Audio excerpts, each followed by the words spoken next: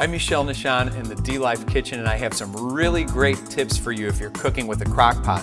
First, if you don't have a crock pot with a removable liner, get yourself some non-aerosol non-stick spray. Now I have a misto here in which I put a little bit of grapeseed oil, but there are a lot of non-stick, non-aerosol products on the market and non-aerosol is really kind to the environment. Just spray it in before you put your ingredients in the crock pot and then you have a non-stick crock pot cooking experience.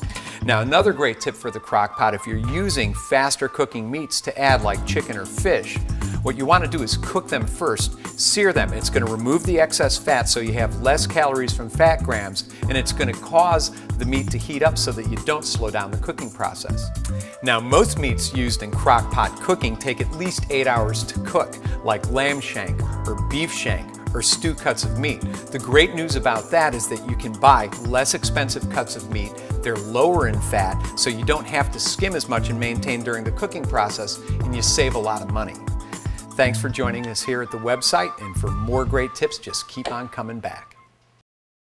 I hope you've enjoyed this dLife video. I'm Nicole Johnson, host of dLife TV and a person with diabetes. If you have diabetes or have a loved one with diabetes, there is so much more waiting for you at dlife.com. Get inspired, informed, and connected. Check it out.